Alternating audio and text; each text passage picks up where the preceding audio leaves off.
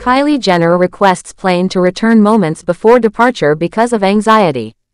Hi, before we continue please subscribe to the channel for all Kardashians news and updates. Kylie Jenner requests flight to turn back moments before departure due to unease.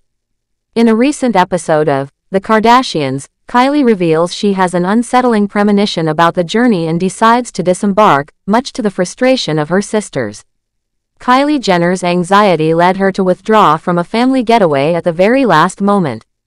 In the latest installment of The Kardashians, Kylie boards a private jet with her sisters Khloe and Kim Kardashian, who are in the midst of a quarrel, alongside Kendall Jenner and their mother, Kris Jenner, en route to the picturesque mountain town of Aspen, Colorado.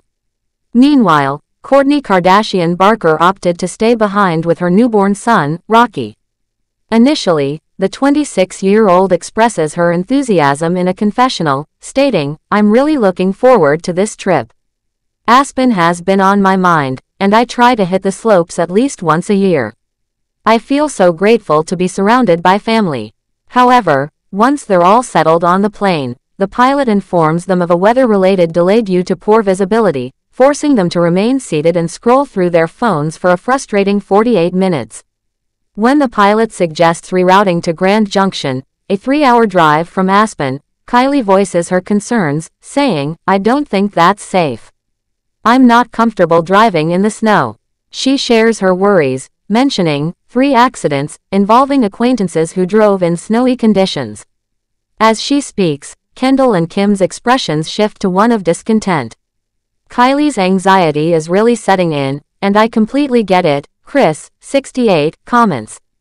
I'm here, I'm all set, I've got everything packed, and I'm ready to hit the road, Kylie declares, though she firmly states, but I'm not heading to Grand Junction.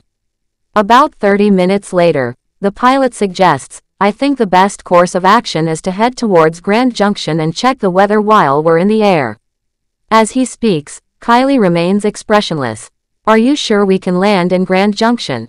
Kris inquires. Oh, Absolutely, he assures her, prompting Kris to respond, well then, let's just go for it. In a separate confessional, Kylie asserts, I'm actually quite good at flying now. I wasn't always. She adds, I've improved a lot, but admits, I'm feeling a lot of anxiety.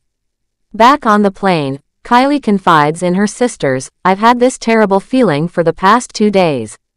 Why would you say that?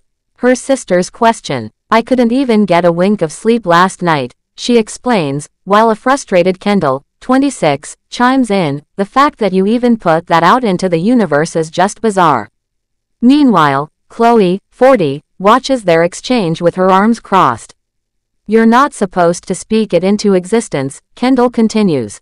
In her confessional, Kylie shares, I just don't feel at ease right now.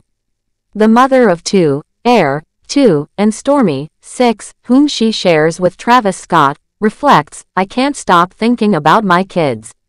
Kylie acknowledges, I might be a bit over the top, yet she insists, there's an unsettling vibe in the air. Meanwhile, aboard the aircraft, the sisters exchange bewildered glances as a visibly shaken Kylie confides in Kris, I've been plagued by a nagging sense of dread for the last couple of days. The way things have unfolded doesn't sit well with me.